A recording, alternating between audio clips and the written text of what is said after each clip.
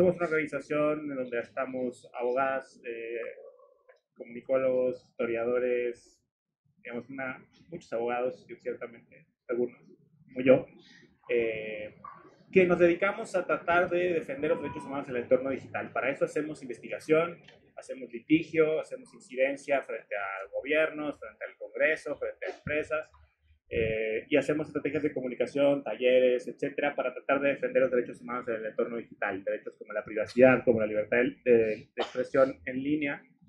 Y eh, me pidieron, y agradezco muchísimo la invitación para hablarles de un tema que es muy importante, que es muy coyuntural y que creo que nos afecta a todos de muchas maneras. Y me interesa, eh, además de yo venir a hablarles a ustedes de por qué creo que esto es muy importante y les afecta, también me interesa y vengo con curiosidad de escucharles eh, respecto de cómo, cómo ustedes en su labor creen que esto les pueda afectar de una manera especial, además de cómo creo les nos afecta a todos. Y, y el tema que les quiero hablar es de la neutralidad de la red. ¿Quién sabe un poco, ha escuchado este concepto? Algunos, imagino, levanten la mano. Algunos han escuchado, muy bien. Bueno, que para los que no, o, que quieren como eh, estar inseguros de levantar la mano, eh, que por cierto, hagan preguntas, levanten la mano. Si quieren hacer preguntas en medio de la presentación, por favor háganlo y si no, al final habrá un espacio para hacerlo. La neutralidad de la red eh, es un principio básico de Internet. Es un principio que eh, dispone principalmente, lo voy a simplificar un poco, dispone principalmente que los proveedores de acceso a Internet, es decir, las empresas de telecomunicaciones como Telmex, Telcel, Axtel, Easy, eh, Telefónica, el que me diga, no puede discriminar entre aplicaciones, contenidos o servicios en Internet. Por supuesto que como así las calles eh, en una ciudad necesitan ser gestionadas por un agente de tráfico, eh, un, proveedor de acceso a Internet tiene que gestionar sus redes para hacerlas más eficientes. Y eso no tiene problema siempre y cuando sean para eso. El objetivo de esa gestión de tráfico tenga como objetivo que la red sea más eficiente, que los datos, los paquetes de datos viajen de un lugar a otro de la manera más rápida y eficiente. Sin embargo, lo que protege el principio de neutralidad de la red es que el proveedor de acceso a Internet no pueda eh, ver qué hay en esos paquetes para decir, ah, tú traes a, digamos, tú traes a un americanista, entonces a ti te voy a poner, eh, te, voy, te, voy, a parar un poquito, ah, tú le das a los Pumas, pásale más rápido, por ejemplo. Pero eso está bien. Bueno, alguien podría, decirlo así, pero digamos, eh, en, un mundo donde creemos en la igualdad y la no discriminación, eh, haber puesto el, ejemplo al revés, pero hay un americanista por aquí, seguro, ¿no? Órale, increíble. Muy bien, yo no lo voy a América, yo voy al Santos, que no tengo, yo no tengo vela de mentira. Pero, eh, básicamente ese es el principio de neutralidad de la red, el principio de no discriminación. Este principio eh, ha sido sujeto de un montón de batallas en el mundo. ¿Por qué? Principalmente porque los proveedores de acceso a Internet tienen interés en poder discriminar, en poder eh, decirle a una aplicación en particular, decirle, oye, si me das una lana, yo te dejo aquí pasar más rápido. O, eh, o si tú no me das una lana, te voy a bajar el switch y, y tu servicio va a estar bien chato. Y por eso es que empresas como AT&T, como Telefónica o como América Móvil, que es en México Telmex y Telcel, en todo el mundo han empujado por años la posibilidad de poder hacer este tipo de discriminación. Y esto ha motivado una serie de batallas épicas en Europa, en la India, en Estados Unidos, por la neutralidad de la red. En Estados Unidos, por ejemplo, eh, durante la era de, Obama, eh, la FCC, que es el regulador de telecomunicaciones de Estados Unidos, dispuso proteger la neutralidad de la red, aunque al principio, y eso no fue gratuito, fue gracias a una gran movilización de la sociedad, de organizaciones y de empresas, de startups. Ahorita les voy a explicar por qué. Eh, y hubo una protección a la neutralidad de la red, a este principio. Llegó Trump, llegó con un nuevo regulador de personas que habían trabajado antes en empresas de telecomunicaciones y se deshicieron de esas, de esas reglas de neutralidad de la red, con efectos bastante eh, perniciosos. En Europa pasó algo similar, las empresas de telecomunicaciones presionaron al Parlamento Europeo para que eh, adoptara reglas que les permitieran hacer ese tipo de discriminaciones para, que, favorecían sus intereses comerciales, pero una movilización muy grande en Europa que logró mitigar y detener gran parte de las amenazas en ese sentido. La India fue lo mismo. En México, ¿qué es lo que pasó? Hace casi seis años, no sé si recordarán, eh, lo, o tendrán noción de la ley de telecomunicaciones, también conocida como ley Telecom. En 2014, Peña Nieto propuso una ley de telecomunicaciones que traía un montón de cosas eh, bastante eh, chafas, eh, incluyendo amenazas a la neutralidad de la red. Hubo una movilización, hubo mucho ruido en redes y hubo mucha presión y se logró hasta cierto punto que en la ley se protegía la neutralidad de la red. En los artículos 145 y 146 de la ley de telecomunicaciones hay un capítulo que se llama de la neutralidad de las redes y se obliga en ese artículo al Instituto Federal de Telecomunicaciones, que es el regulador de telecomunicaciones en México, a emitir unos lineamientos para proteger la neutralidad de la red con base en una serie de principios. el principio de libre elección, el principio de no discriminación, el principio de privacidad, de transparencia, etc. Nosotros, que en ese momento nos involucramos en esa presión al Congreso para que no se violara la neutralidad de la red, consideramos eso un triunfo, sobre todo frente a lo que había presentado Peña Nieto, que incluía la posibilidad de censurar Internet, la posibilidad de discriminar aplicaciones, contenidos y servicios en beneficio de las empresas y con perjuicio para todos los demás, para los usuarios, para las aplicaciones, contenidos y servicios chicos, los startups, las que son sin fines de lucro en general. Eh, y consideramos eso un, una victoria, hasta cierto punto, de esa presión y esa movilización que hubo en redes y en las calles. Sin embargo, lo que decía el artículo es que el Instituto Federal de Telecomunicaciones tenía que emitir lineamientos para aterrizar esos, e, esas protecciones a la neutralidad de la red.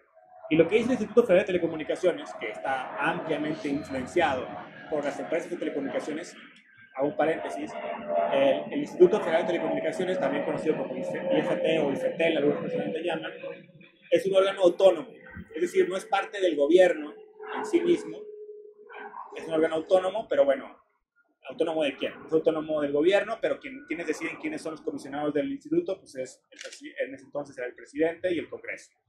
Eh, debería, haber, debería haber siete comisionados, hoy en día hay seis, todos son hombres, y de todos esos, eh, cinco fueron elegidos en el sexenio y el Congreso anteriores, solamente uno en el nuevo eh, gobierno y Congreso. Eh, este órgano, este IFT, después de que se entró en vigor la Ley Federal de Telecomunicaciones, no hizo nada. Por más de cinco años estuvo amagando con que ya voy a hacer los lineamientos y lo voy a poner los lineamientos y, los ponía, tiene un calendario, todos, todos los años ellos publican un calendario de los, lo que van a hacer ese año. Y todos los años van, pueden encontrar lineamientos sobre neutralidad de la red. Hasta que nos desesperamos, nos cansamos y desde R3D metimos un amparo y le dijimos a un juez, oye, el instituto está ignorando su obligación de emitir estos lineamientos. El juez nos dio la razón y el instituto decía, no, yo puedo decidir si no hago lineamientos, es parte de mi, de mi, de mi discrecionalidad. Y le dijimos, no, lee la ley, la ley dice tienes que emitir los lineamientos. Ciertamente la ley no te dice cuándo tienes que emitirlos, pero tienes que emitirlos. Ya no, no es razonable que te tardes cinco años, si tardas un año, dos chances, whatever. Pero cinco años en, esos cinco años, para que se den una idea, en Estados Unidos hubo un, todo un proceso para emitir los lineamientos de, de regulatoría de la red en Estados Unidos. Luego hubo todo otro proceso para quitarlos. En Europa hubo tres dos procesos. En la India hubo dos procesos de regulación. No hay una justificación más que eh, ahorita a lo mejor colectivamente desciframos por qué se quieren tardar. A final de cuentas, el juez dice, no, tienen la obligación de emitir esos lineamientos. Eh, ellos impugnaron esa decisión, nosotros también, porque el juez, aunque nos dio la razón en que el instituto no podía decidir no emitir lineamientos, no, no le puso una fecha de ya tienes que emitirlos hasta tal fecha. Entonces ese, ese juicio está todavía pendiente, esperamos que se resuelva en los próximos meses, pero eso sin duda le metió presión al instituto. Y el instituto, tal vez con la intención de convencer al juez de que, que está, a los magistrados, al, tribunal que está analizando esa sentencia, eh, para mostrar que ya los va a emitir, lanzó la consulta pública. Todas las, bueno, casi todos los lineamientos, o más bien, por regla general, todas las decisiones que toma, lleva a cabo el instituto, el IFT, tiene que ponerlas a consulta pública. Y el instituto publicó por fin un anteproyecto de lineamientos eh, que no se llaman de neutralidad de red, sino se llaman de gestión de tráfico. Y estos, este anteproyecto de lineamientos de gestión de tráfico fue publicado el 18 de diciembre, fue un regalo de Navidad muy bonito para nosotros, no en realidad.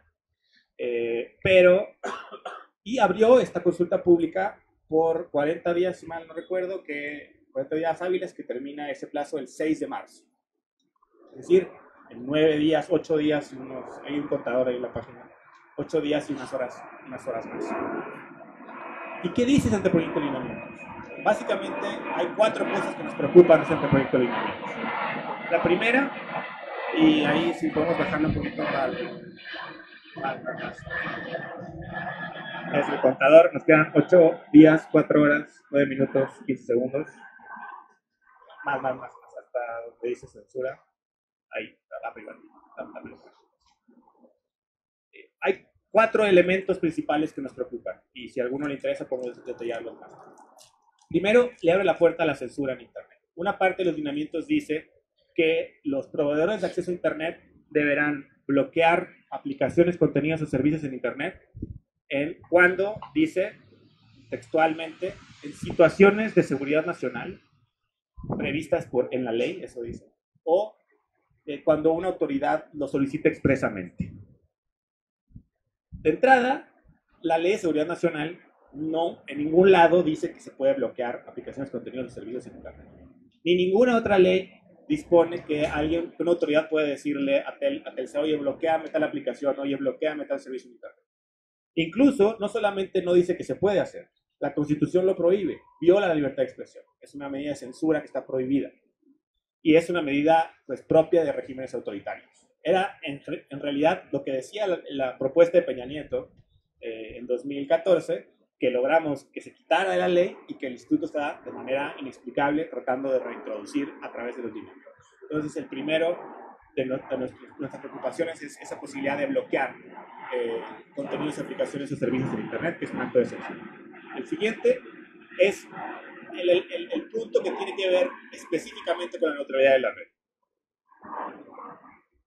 El instituto establece una serie de figuras a través de las cuales los proveedores de acceso a Internet pueden llegar a acuerdos comerciales con ciertas aplicaciones para privilegiar su, su, su tráfico. Es decir, supongamos que Telcel, eh, que además Slim no nada más es dueño de Telcel y Telmex, también es dueño de Claro Video, de Claro Música, entonces tiene un interés porque le vaya bien a Claro Música y le vaya bien a Claro Video. Supongamos, y en realidad no es hipotético porque está pasando, eh, que Telcel eh, privilegia el tráfico de Claro Video y hace que Netflix esté bien chafa. Y tú llegas a tu casa, quieres ver una serie, y pones Netflix y está todo chafa y no corre y la calidad del video es horrible y dices, ah, ya al carajo, a ver, vamos a ver Claro Video y Claro Video corre excelente, ¿no? Qué casualidad. El instituto quiere abrir la puerta para que ese tipo de acuerdo sea posible que una empresa, una aplicación le pueda pagar a Telcel, o le pueda pagar a Movistar, o le pueda pagar a AT&T para que su tráfico tenga privilegio y el de los demás esté perjudicado. Y esto nos afecta a todos y a todos de, de, de diversas maneras. Primero, además de que viola y, y va en contra de lo que se conquistó en la ley de telecomunicaciones. Primero, limita nuestra libertad de elección. ¿Por qué limita nuestra libertad de elección? Porque supongamos, que de hecho también está pasando, que eh, bueno, yo leo muchas noticias, ¿no? Y, y, mi portal de noticias favorito es animalpolitico.com. Y no sé si alguno, yo no tengo Telcel, pero sé que aún estuve y sé que muchos tienen y hasta es curioso que yo sé que los tienen, aunque no, que pasa esto que les voy a decir, aunque no sea cliente de Telcel. Nos han llegado, los que son de Telcel, mensajes de noticias de Uno Noticias, un montón, son muy molestos. Uno Noticias es de Slim, por cierto. Pero imaginen que yo quiero ver Animal Político y Uno Noticias, la verdad, no me deja. Pero Uno Noticias es, es gratis. O sea, Uno Noticias no me quita datos y Animal Político sí me quita datos. Lo, la decisión que hubiera sido únicamente eh, basada en qué me gusta y qué prefiero, se ve condicionada por qué cuesta y qué no cuesta. Si priorizas a Uber, si Uber no me cuesta datos, pero me gusta más Didi, me gusta más Cabify, me gusta más Bolt, me gusta más Bit, claramente eh, limitas mi libertad de elección como usuario. Y así, y puedo darles eh, muchos ejemplos. Pero al mismo tiempo hay evidencia que demuestra que no es, no es nada más que limita mi libertad de elección, sino que también aumenta los costos para el usuario. En Europa principalmente se han hecho estudios que han revelado que donde este tipo de ofertas los precios por acceder al resto del tráfico de Internet se elevan. Les voy a tratar de dar un ejemplo. Es un poco complejo, pero voy a tratar de darles un ejemplo. Supongamos que tienes un plan de 5 gigas que dice con redes sociales ilimitadas, con tres aplicaciones ilimitadas, además, porque lees las letras chiquitas y no son tan ilimitadas. Y supongamos que eh, de esos 5 gigas usaste 4 eh, gigas para lo que no es redes sociales ilimitadas y usaste 2 gigas para ver Facebook, que sí estaba priorizado. En total consumiste 6 gigas y te costó 500 pesos tu, plan de 5 gigas. Lo que la evidencia en Europa ha demostrado es que si la empresa de telecomunicaciones te vendiera nada más 6 gigas, que es lo que usaste, y tú decides para qué los usas, te hubiera salido en 300 pesos ese. ese. Es decir, cuando te dicen, te estoy regalando estas aplicaciones gratis, el proveedor de acceso a Internet no le pierde. Compensa todo lo que te da gratis, subiéndole el precio a las aplicaciones, contenidos o servicios que no están priorizados. Entonces, eh, si, si, todo fuera parejo, Animal Político, o sea, un, un, mega de Animal Político costaría lo mismo que un mega de noticias, o un mega de Uber, lo mismo que un, Uber, que un mega de Didi, o un mega de Netflix, lo mismo que un, un mega de Blim. Pero con estas distorsiones, te regalan el mega de Blim y el mega, el, mega de Netflix sube de precio 2, 3, 4. Hay casos en, Portugal donde hasta 77 veces más te cuesta acceder a una aplicación que no está priorizada respecto de la que sí está priorizada. Al final del día lo que pasa es que terminas gastando, gastando tus datos antes, teniendo que comprar más y obteniendo, pagando más dinero por obtener menos internet. Entonces parece que te regalan algo, pero en realidad te suben el precio de todo lo demás y terminas pagando más. Básicamente esto, esto ¿qué, qué poder le da al proveedor de acceso a internet? como sabemos, muchas empresas que hoy son grandes. Entonces, un, un, pasito atrás, perdón. Recapitulo. Libre elección. Aumenta nuestros precios.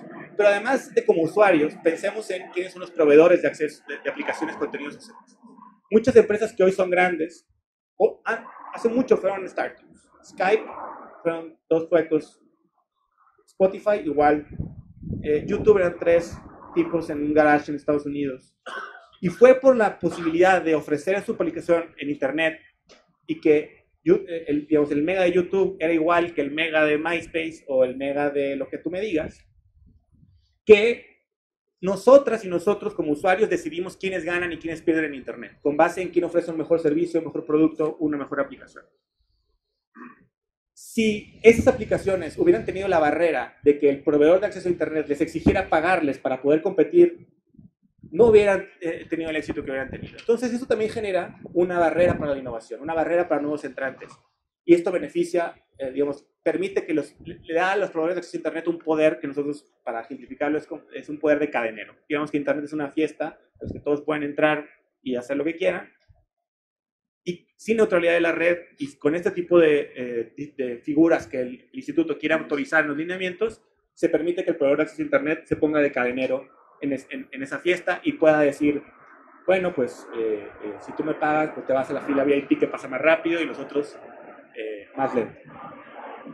A, las, a los proveedores de acceso a Internet les encanta tratar de vendernos esta idea de poder discriminar funcionó, funcionaron las telas. Eh, pues sí, pues sí. A, a, los, a, los, proveedores de Internet les encanta vendernos esta idea de poder discriminar y de llegarse de más recursos, eh, engañando, diciendo, es que voy a usar esos recursos para invertir en infraestructura y esa infraestructura va a hacer que Internet sea más rápido para todos y que la gente que no está conectada esté desconectada. Eso es falso. En Estados Unidos, por ejemplo, cuando estaban las reglas que protegían la neutralidad de la red, había más inversión en infraestructura de cuando Trump se deshizo de las reglas de neutralidad de la red. Y además tiene sentido. ¿Por qué yo invertiría en infraestructura si mi modelo de negocios depende de la escasez?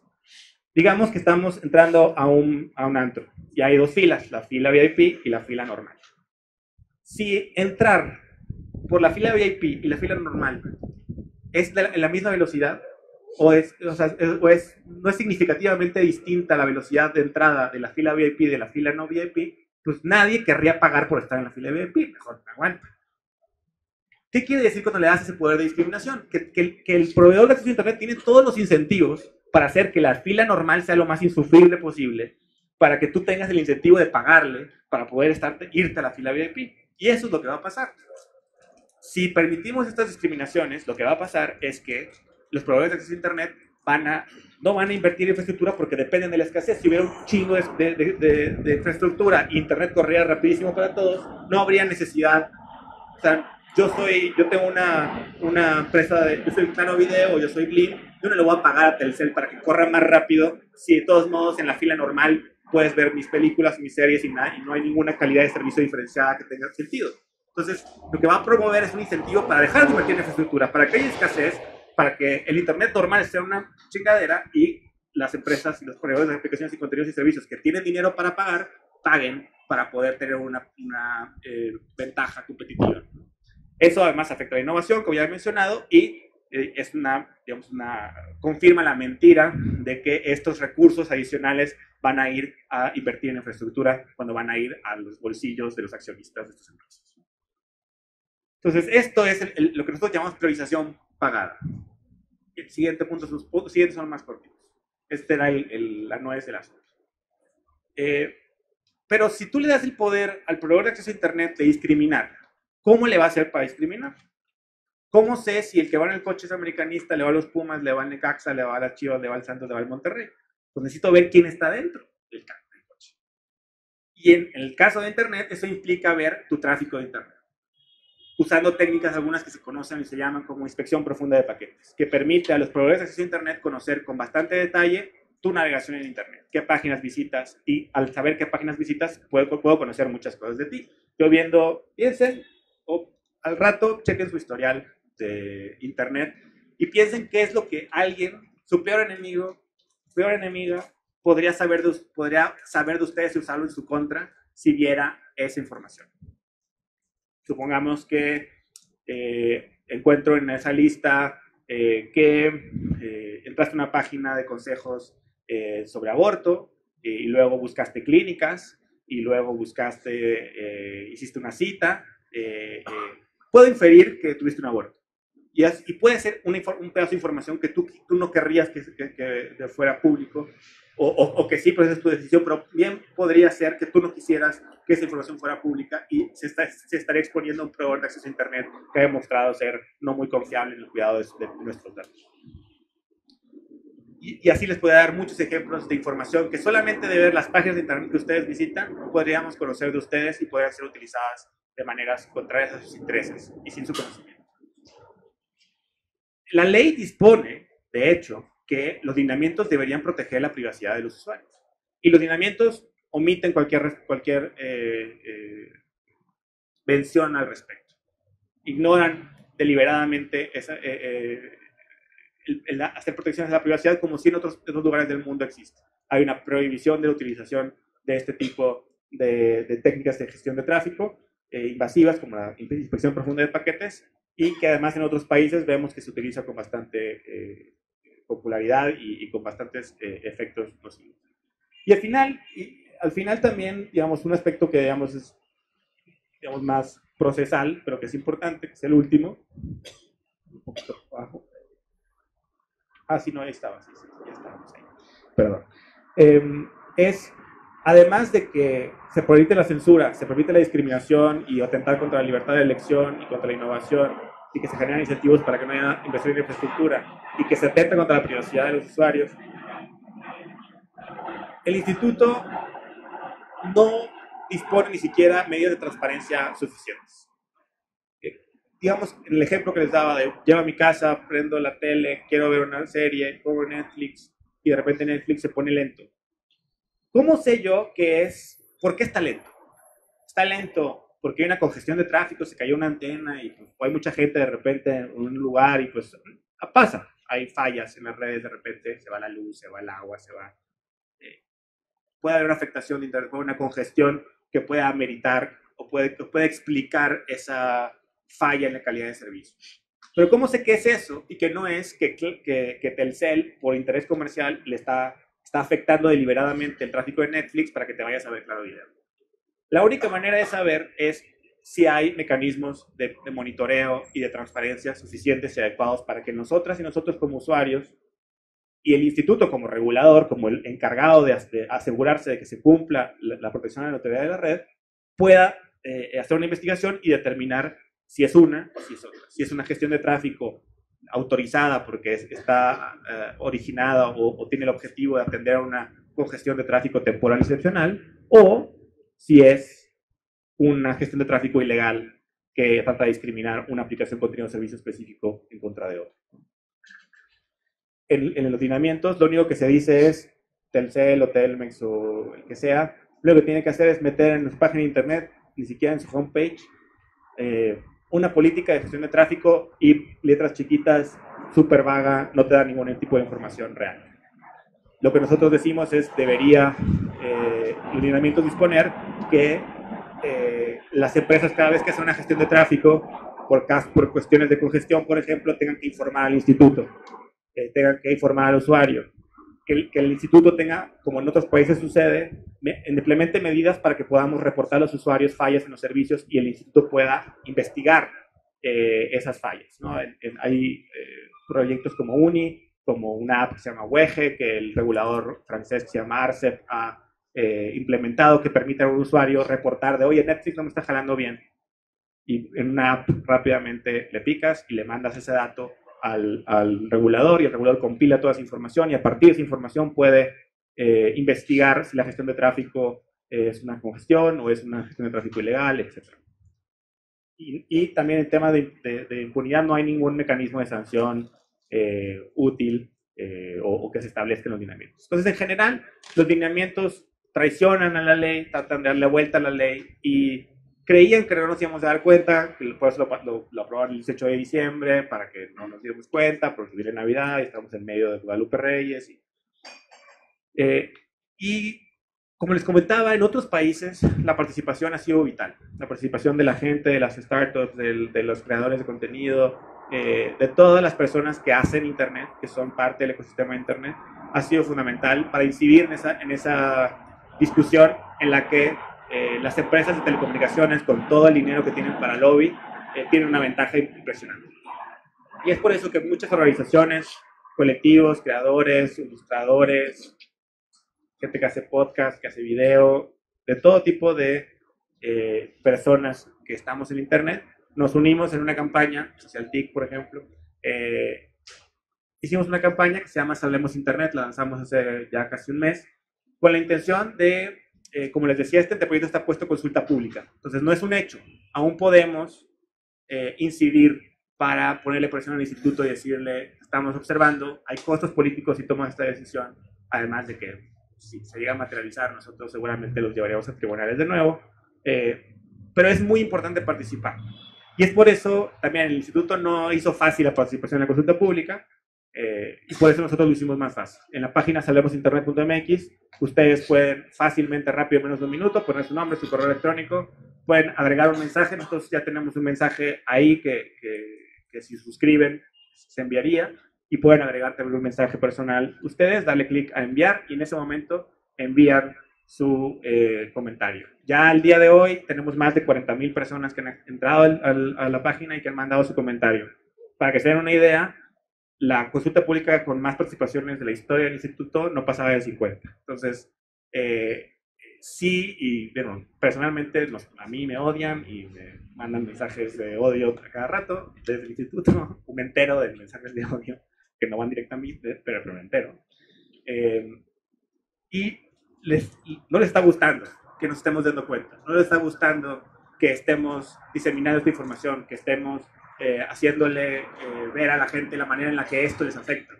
Y créanme que es bien importante seguir insistiendo y usar los últimos ocho días que nos quedan para que sean la mayor cantidad de personas las que entremos a salvemosinternet.mx, mandemos nuestro comentario y le dejemos ver al instituto que Internet no es ni de él, ni del gobierno, ni de las empresas, sino que es de todas y todos los que lo hacemos. Porque sin las cosas que nosotros y nosotros hacemos en Internet, si nuestros videos, nuestros memes, nuestros textos, nuestros tweets, nuestros posts, nuestras aplicaciones, nuestro código, eh, nadie querría usar Internet. Somos, nosotros somos los que le damos el valor a Internet y tenemos todo el derecho y, ellos tienen la obligación de considerar cómo esto nos puede afectar a nosotros.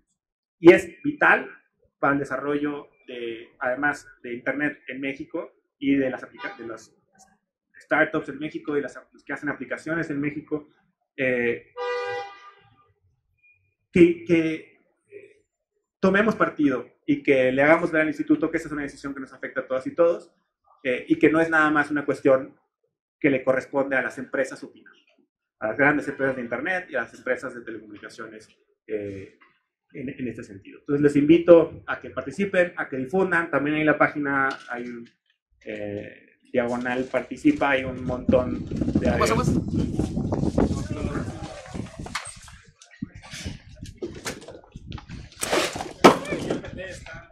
IFT está soplando. De hecho, sí, el IFT está por, allá. Está soplando. Eh, y bueno, hay un montón de infografías, de ilustraciones, de videos. Hagan los suyos, hay memes, hay todo. Es bien importante hacer llegar esta información a la mayor cantidad posible de gente, porque además, esta lucha de aquí al 6 de marzo es importante, pero va a seguir. Las empresas no se van a dar por vencidos y nosotros tampoco. Nosotros vamos a seguir insistiendo. Si, si el instituto después del 6 de marzo decide publicar estos lineamientos, créanme que van a escuchar a nosotros eh, de nuevo, en todos lados, en internet, en los tribunales. Ayer fuimos afuera del IFT y hicimos una fiesta.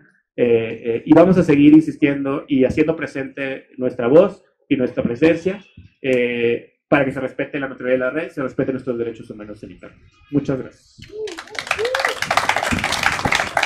No sé una pregunta. en la página en algún lado para poder entrar y votar. Ya está en internet. Tú entras a la página aquí está. hablemosinternet.mx, es esta página. Y ahí pones tu nombre, tu correo. Este es el mensaje que nosotros ya hicimos, que puedes ver. Y le das clic aquí en enviar tu mensaje al IFT. Si quieres seguir eh, quieres que te contactemos después con más acciones y con más información sobre la campaña, puedes dar clic ahí. Si no, le das clic y no te mandamos ningún correo. Eh, y al enviar tu mensaje al IFT, llega el mensaje. Ya más de 40.000 personas lo han hecho y queremos llegar a 50.000, 1.000, todas las que se puedan.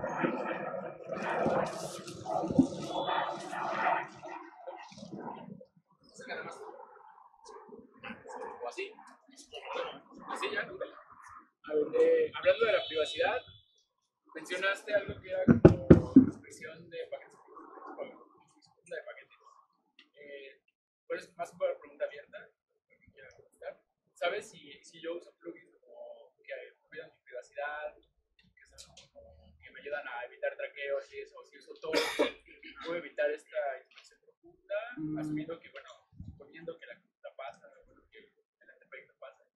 hay algunas medidas que pueden mitigar algunos tipos, digamos, la inspección profunda de paquetes es solamente una técnica de gestión de tráfico, hay muchas, hay eh, nivel de DNS, digamos, hay varias, y, hay algunas para las cuales hay ciertas herramientas que te protegen y algunas para las cuales no, no te protegen. Sí, incluso con inspección profunda de paquetes había algunas herramientas y hay incluso, VPN o, un VPN, pues lo, que debería el, el, ISP es, tú te conectaste a un VPN y ya después de VPN a otro lado. Eh, o incluso ya hay, Firefox también está trabajando en un plugin, o ya está, ya, ya el plugin para que encripta el tráfico eh, eh, y podría ayudar, ¿no? Pero sabemos que hay un montón de gente que, que no lo hace y no podemos nada más depender de, eso. Oye, esa, esa, respuesta que le acabas de dar es la misma a, a la pregunta, supongamos que esto no pasa Supongamos, supongamos que nos atoran a todos. ¿Qué hacemos? ¿Hacer, ¿Usar VPN es suficiente? ¿Usar Tor es suficiente? Mm, ya no la Depende. En cuanto a, en cuanto a o sea, de, estos riesgos que describes, la de... Eh, censura está difícil de ver. bueno, censura no está, también con VPN podemos sortear. Eh, pero la pre, este, priorización pagada, esa ya no la pelamos. Priorización pagada nos da. Y, y este, eh, violación a la privacidad. ¿Eso también se puede dar la vuelta con todo? Se podría, se podría, sí. Entonces es lo que podemos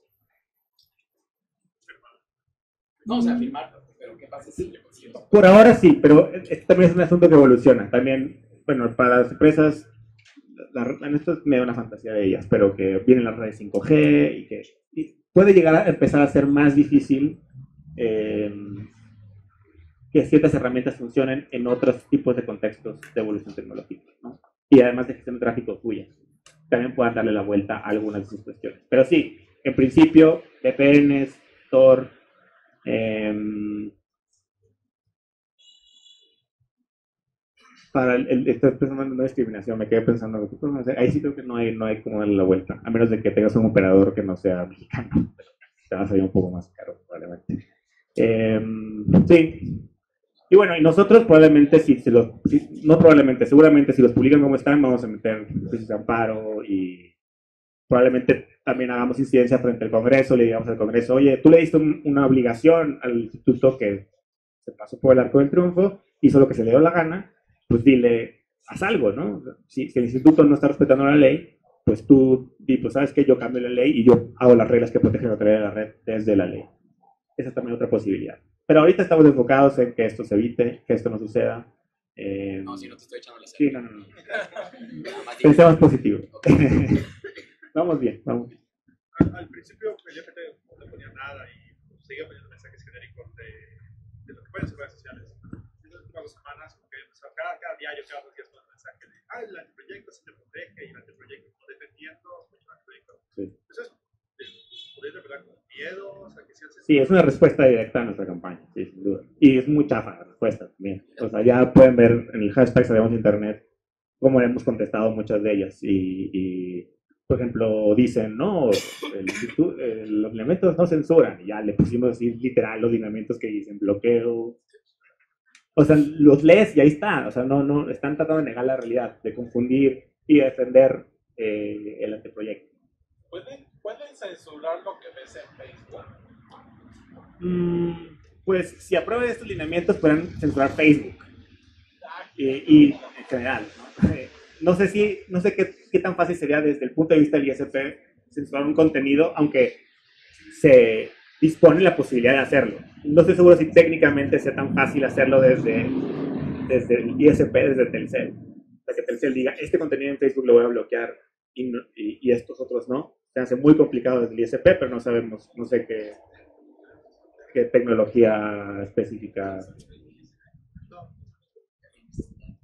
Eh, pero podrían bloquear todo Facebook, o podrían bloquear todo roja directa, o podrían bloquear todo TikTok, o todo Twitter, o todo GitHub. O... No, no, no. A todo GitHub. Ya les pegué donde más les duele, ¿verdad?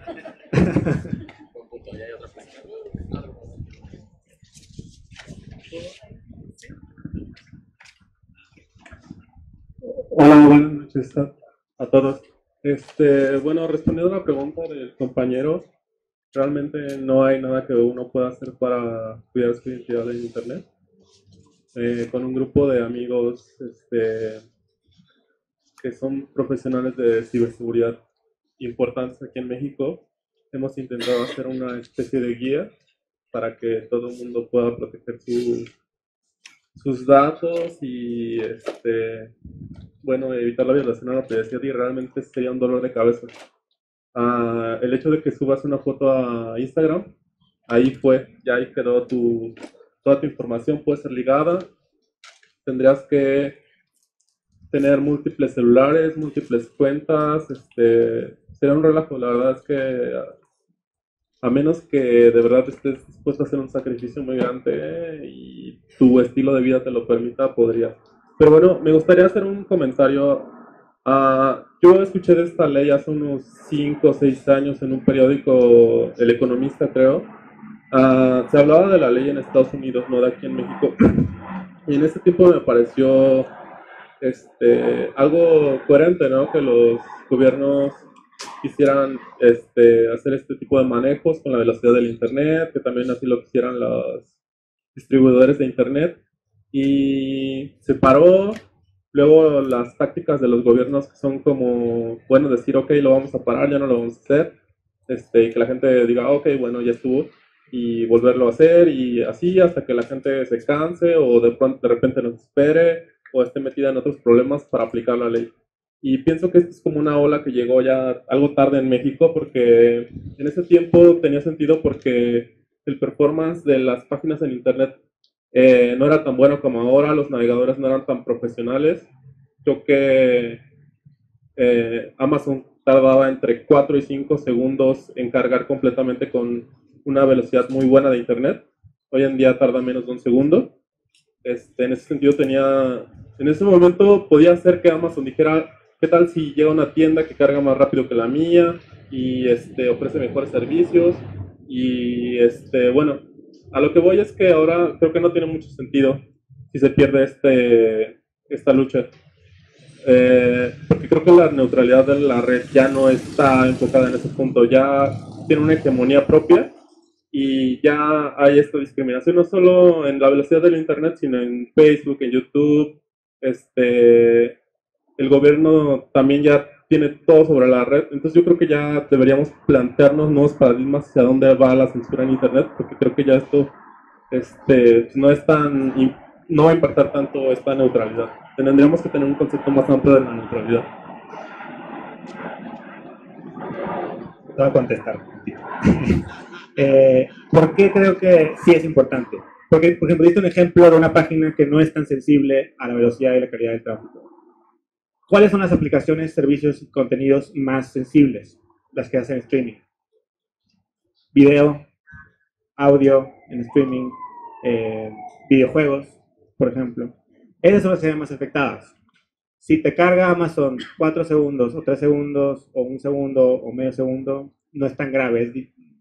Si fuera mucho más, entiendo, entiendo tu punto, eh, sí podría ser, generar una, eh, eh, una diferenciación que sea más, más gravosa en términos de calidad. Pero la discriminación no es nada más en términos de calidad, sino también en términos de precio. Y ahí sí uno toma decisiones Mm, eh, sí influencia tus, decisiones de una manera más importante. Si simplemente se te acaban los datos y nada más puedes usar las que, las que están sin, eh, eh, en el paquete de, aplicaciones gratuitas, ahí claramente hay una, se favorece a unas en perjuicio de otras. Y se favorece principalmente a las que ya son dominantes, a las grandes, las que tú dices. La neutralidad de la red no resuelve todos los problemas de Internet, pero sí es importante, es importantísima para no echarla a perder de manera absoluta. Y en términos de censura, también diferirían en, ese sentido, porque sí sucede. Hoy, por ejemplo, en la India hay violencia extrema eh, de población eh, hindú sobre población musulmana en una región de, de, de, India y el gobierno bloqueó Internet en toda esa región. En Camerún pasó igual, en Kenia pasó igual. En varios países han censurado Internet en Venezuela, ha pasado, en Nicaragua ha pasado. Y aquí podemos creer que aquí no va a pasar, que todo está bien, pero no, sabemos en qué momento un gobierno va, a intentar, y créanme que yo he escuchado gente del ejército, del, del que era CISEN, hablar de la posibilidad de censurar eh, eh, Internet en, lugares específicos, por ejemplo, donde hay una protesta, censuran Internet y, dejan de salir información sobre violencia policial. Si, es, si darle ese poder a un gobierno es algo que es importante. No es lo único que evita la censura. Por supuesto que hay problemas con la censura a nivel de aplicación. Y el poder que han amasado ciertas aplicaciones o ciertos servicios como Google, como Facebook, eh, como Amazon, es problemático. Y, no se resuelve aunque haya neutralidad en la red. pero, y se tiene que resolver, pero se tiene que resolver con otras medidas hay problemas de competencia y hay problemas de, de, algunos actores en Internet que tienen más poder del que deberían tener y que abusan de ese poder para censurar, para espiar, para usar nuestros datos. Eso tienes toda la razón y es algo, cosas en las que también nosotros trabajamos. Eh, pero no, por, no porque existen esos problemas vamos a dejar que haya más problemas deshaciéndonos de la neutralidad de la red, permitiendo que inspeccionen nuestro tráfico. o sea, si, ya, nos, como ya, nos espía Google y Facebook, porque también nos espía Telcel y AT&T, no, mejor que no nos espíe Telcel y AT&T y hay que pelear porque tampoco nos espíe Facebook y tampoco nos espíe eh, eh, Google. Entonces creo que sí es una batalla que vale la pena dar, que es muy importante dar y ciertamente es una discusión que llegó tarde, pero les decía antes, ¿por qué llegó, por qué se tardó tanto el instituto? Si uno lee las, las supuestas justificaciones con las que pretenden defender este instituto es, pero estas cosas ya pasan, ya hay paquetes de redes sociales ilimitados. Era deliberado era vamos a dejar que pase esto como no hay lineamientos, no puedo sancionarlo, se normaliza, todo el mundo dice, ah, pues ya es normal, ¿no? Y no era normal, siempre fue ilegal, siempre fue contra la autoridad de la red y el instituto nunca quiso hacer nada. Y ahora trata de legalizarlo y justificarlo diciendo, pues ya pasa. ¿no? Y hace seis meses, y cada vez pasa más, y cada vez pasa de maneras más preocupantes. Hace seis meses, Telcel ofreció, uno, hizo una oferta en donde Claro Música es gratis. Eh, usando su poder como el, la empresa de telecomunicaciones más grande del país para beneficiar su propia aplicación. Si yo soy un, una persona que está trabajando en una aplicación que quiere competirle a Spotify y quiere competirle a Claro Música, pues ya me jodí. Porque no, no, soy amigo de Slim, no tengo mi empresa de telecomunicaciones y no tengo manera de competir contra ellos. Entonces, sí hay un montón de ramificaciones importantes que creo que es importante defender. No es la única batalla, hay muchas más que tenemos que dar, eh, pero esta es una muy importante. Y creo que también, en ese sentido, es bien importante hablarle a Paco para que entienda Juan. ¿no? Eh, presionar al instituto y mostrar nuestra fuerza, mostrar nuestro interés, mostrar que estamos poniendo atención para que a otros luego no se les ocurra, porque puede pasar lo contrario. Si perdemos esta batalla, los gobiernos van a decir, mira, pues el IFT aprobó esto, les quitó la autoridad de la red y no dijeron nada, ah, pues vamos a meterles más vigilancia, más censura en Internet. Y eso es muy importante. Entonces creo que sí vale la pena eh, adoptar todas las medidas, no hay balas de plata, ni, ni eh, no hay una sola acción que sea la que nos protege más. Yo les diría, hagan todas las que ustedes puedan hacer. Nosotros desde nuestra organización hacemos lo que podemos, investigando, metiendo amparos, haciendo campañas. Eh, y otros han hecho, son buenos para ilustrar y hacen ilustraciones. Son buenos para hacer video y hacen videos. Son buenos para programar y programan.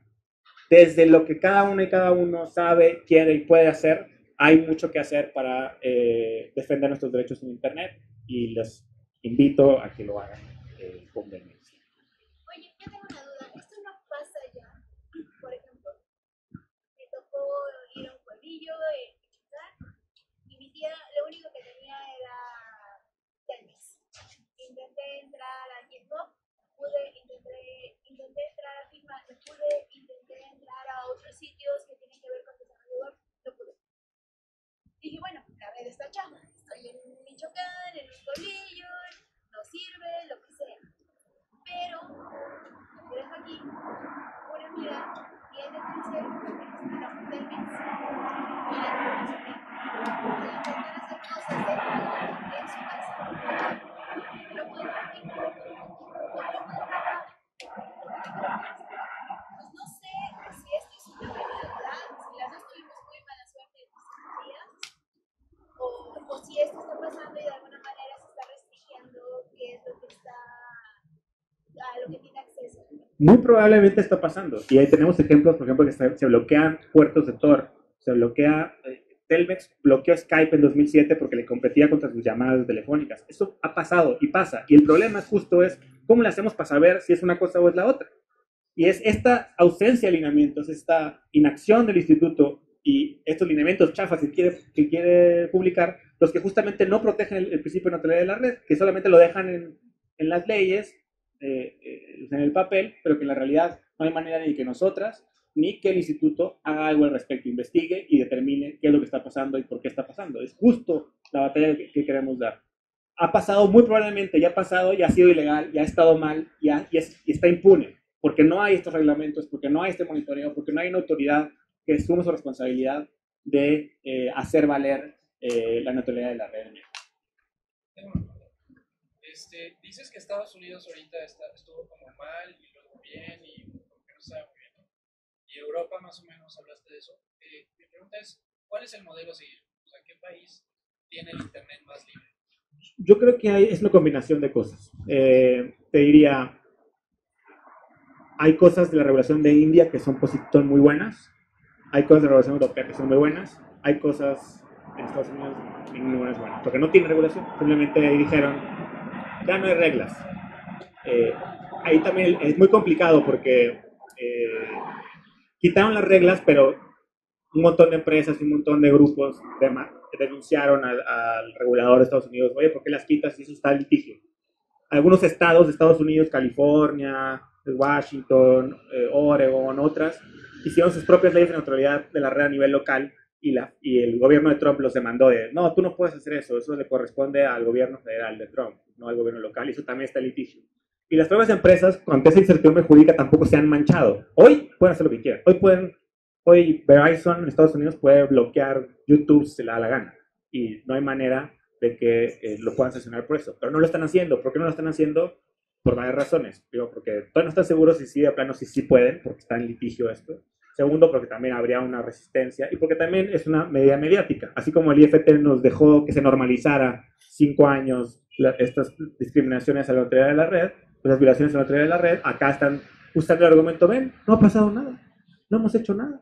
Están esperando a que dejemos de poner atención, a que digamos, ah, sí, la autoridad de la red no era importante. Y ahí es cuando, es cuando se van a, a meter, sobre todo cuando vengan las redes 5G que les permiten segmentar eh, el tráfico de una manera más eh, importante. Entonces, eh, es, en Estados Unidos no hay muy buenas eh, prácticas, pero te diría, por ejemplo, en la India hay algo muy positivo que es algo que se conoce como regulación y supervisión ex ante.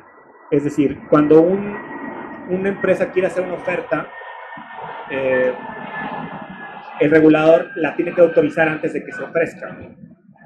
Eso es muy bueno porque en Europa es al revés, es ex post. Es decir, las empresas hacen ofertas y luego el regulador ve si, la, si fue ilegal o no fue ilegal. Pero de aquí a que lo revisa, de aquí a que lo sanciona, la oferta ya se acabó, sus efectos ya se desplegaron y no está siendo efectivo en Europa es, es- esa cuestión. Pero hay otras cosas, por ejemplo, se prohíbe el bloqueo, eh, se establecen más reglas de qué se puede y qué no se puede hacer. No son perfectas, pero sí se limita mucho más eh, eh, estas discriminaciones de tráfico o cuándo pueden suceder y cuándo no. Porque también es cierto, podríamos imaginarnos eh, ofertas o gestiones de tráfico que le dan privilegio a algunas aplicaciones que no, no, no tienen, no son malas, no son per- perniciosas. Por ejemplo, imaginen que la app del 911 de emergencia no te cuesta datos. Pues, no pasa nada, no le afecta a nadie, no afecta a la competencia, no le, no le pone una barrera a nadie. Eh, podemos vivir con esa discriminación o ese trato diferenciado de esa aplicación. Pero si es para YouTube, para Netflix, para ahí es otra cosa, ¿no? ya es problemática. Y Europa es muy buena generando ejemplos y, y diciendo, esta, esto sí, esto no. Eh, por ejemplo, Europa dice, esto que está haciendo Telcel, de yo privilegio mis propias aplicaciones, esto Europa explícitamente dice, eso no se puede. Eh, entonces, yo diría que no hay un lugar perfecto. Eh, tal vez lo haya pronto, porque lo que pasó en Europa es que como es la Unión Europea, hay una regulación europea que luego los países tienen que implementar a nivel local y este año se va a agotar ese tiempo. Entonces, este año vamos a ver que muchos países en Europa adoptan reglas de neutralidad de la red eh, que tienen que cumplir con lo que dice la regulación europea. Y puede que ahí salgan buenos ejemplos. Y hay otros ejemplos que di, por ejemplo, el tema de supervisión, Noruega, Francia, es, es muy bueno. Esto de que ellos hicieron una aplicación, diseñaron una aplicación y se la ofrecen al público para que le reportemos así. eh, la compañera acá podría haber dicho, no funciona GitHub y lo has puesto en la app. Ah, porque en el teléfono sí funcionaba. Exacto. Pudiste haber- podrías haber reportado al regulador, si, si en lugar de estar en Michoacán, si hubiera estado en Lyon, en lugar de Lyon, Guanajuato, en Lyon, Francia, podrías haber eh, ma- mandado en la app, eh, aquí no me está funcionando GitHub, no me está funcionando, y el regulador toma nota, empieza a revisar datos, hace una investigación y puede determinar si era una gestión de tráfico legal o ilegal. Eh, entonces, hay pedacitos de regulación que están bien en un lado, en otro. Eh, yo diría, una mezcla de la regulación en la India y la regulación en Europa es lo más deseable. Oye, en América Latina, en otros países. En América Latina hay países que a nivel legal protegen la autoridad de la red, pero a nivel real no sabemos qué pasa. En Chile, por ejemplo, hasta en, te- en teoría se protege la autoridad de la red, pero en la práctica no hay regu- el regulador no, no tiene financiamiento, no tiene gente, entonces no, no, no existe. Es como, es una regla pues, de buenas intenciones. En Brasil hubo una regulación, pero que ha estado muy, también muy peleada. Eh, yo diría que la chilena es la más buena, el mejor ejemplo que ha habido de autoridad de red en México, aunque en realidad tiene, ha tenido sus, sus problemas implementación. Muchas gracias. Ahí pueden seguir, último comercial, eh, pueden seguirme a mí en tu, arroba en Twitter, pero más importante a la organización en visitarnos en r3d.mx, en arroba r3d.mx, no, arroba r3dmx en Twitter y en Facebook también, diagonal r3dmx. Ahí publicamos un montón de información sobre un montón de temas que tienen que ver con derechos humanos y tecnología. Y espero les haya gustado esta plática y que nos sigan eh, en redes y estén pendientes de las cosas que hacemos porque hay muchos otros temas que estoy seguro que les van a llamar la atención. Muchas gracias. Hola, gracias por quedarte hasta el final del video. Recuerda que puedes ver más contenido como este en nuestro canal de todos los eventos a los que asistimos porque we love devs. Y acuérdate de darle like, compartir, suscribirte y darle a la campanita para que estés al pendiente de todo nuestro nuevo contenido. Además, seguirnos en todas nuestras redes sociales para que siempre estés al día sobre todo lo que subimos. Además, aquí te dejamos otros videos para que los puedas ver. Exacto. Gracias.